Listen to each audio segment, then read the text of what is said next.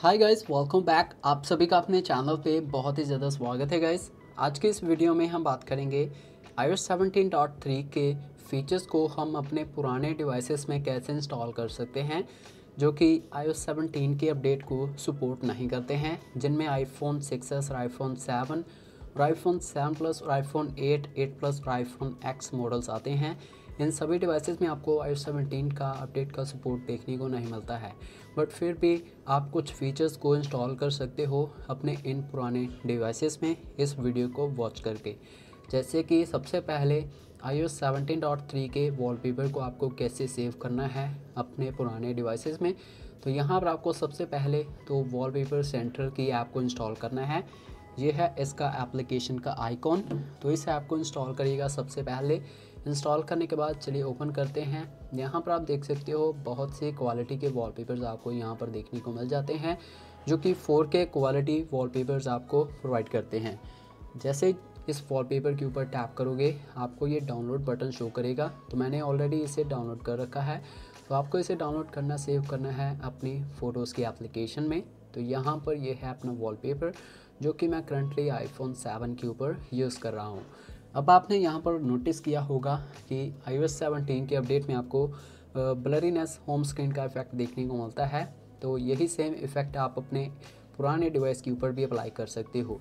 उसके लिए आपको इस ऐप को इंस्टॉल करना है, जिसका नाम है ब्लेयर तो ये सेंटर वाली एप्लीकेशन है। यह है इसका एप्लीकेशन का आइकॉन इसको आपने इंस्टॉल करना है। इंस्टॉल करने के बाद ओपन करेंगे अपने डिवाइस में। तो ये है इसका सिंपल सा इंटरफेस यहाँ पर आपको अपनी फ़ोटो को ओपन करना है, जो भी आपने सेव करी है। ये है अपना वॉलपेपर अपना वॉलपेपर यहाँ पर आ चुका है। यहाँ पर आप नोटिस कर सकते हो कि इसकी ब्लर की रेशियो कितनी है इस वाले डिवाइस में। आप यहाँ से एडजस्ट कर सकते हो, इसके ब्लर की स्ट्रेंथ को बिल्कुल सेम टू सेम हो चुके हैं।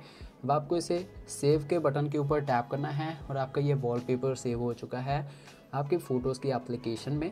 अब ओपन करेंगे इस ब्लरी वॉलपेपर को और शेयर करेंगे और यूज़ एज वॉलपेपर और सेट करेंगे ओनली होम स्क्रीन के ऊपर। क्योंकि हमें होम स्क्रीन के ऊपर ही ब्लरीनेस का इफ़ेक्ट चाहिए। आप देख सकते हो, ये है लॉक स्क्रीन का वॉलपेपर बिल्कुल सेम टू सेम दोनों में। और यहाँ पर होम स्क्रीन के ऊपर आपको दोनों में सेम टू सेम ब्लटीनेस का इफ़ेक्ट देखने को मिल रहा है इन दोनों डिवाइसेस के ऊपर। अब बात आती है लॉक स्क्रीन के ऊपर जो विजेट्स आपको देखने को मिलते हैं आई सेवनटीन के अपडेट में, वो आप कैसे इनेबल कर सकते हो अपने पुराने डिवाइसेस के ऊपर। उसके लिए भी एक एप्लीकेशन है, इस एप्लीकेशन को आपने इंस्टॉल करना है, जिसका नाम है विजी एप्लीकेशन विजी को आपने इंस्टॉल करना है इंस्टॉल करने के बाद ओपन करेंगे। अपने डिवाइस में।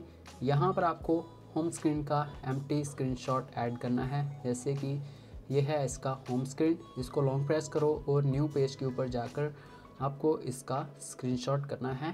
कुछ इस तरीके से। स्क्रीनशॉट करने के बाद आपको इस ऐप को ओपन करना है वीजी की एप्लीकेशन को। अब आपको यहाँ से डिलीट करना है। ऐड वॉलपेपर के ऊपर टैप करो और इस वॉलपेपर को आपने सेलेक्ट कर लेना है। कुछ इस तरीके से आपको यहाँ से भी से सिलेक्ट करना है। अपना आईफोन आपने सेलेक्ट करना है, जो कि मैं करंटली आईफोन सेवन को यूज़ कर रहा हूँ। उसके बाद आपको यहाँ पर देखने को मिलेगा लार्ज विज़िट स्लॉट आपको लार्ज विज़िट स्लॉट के ऊपर जाना है।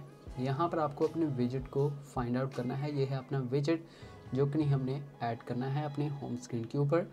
और यहाँ पर आपको लॉन्ग प्रेस करके प्लस के बटन पर टैप करना है, वो स्वाइप अप करो और विजी को सिलेक्ट करके आपको यहाँ पर लार्ज विजी के स्लॉट को ऐड कर देना है।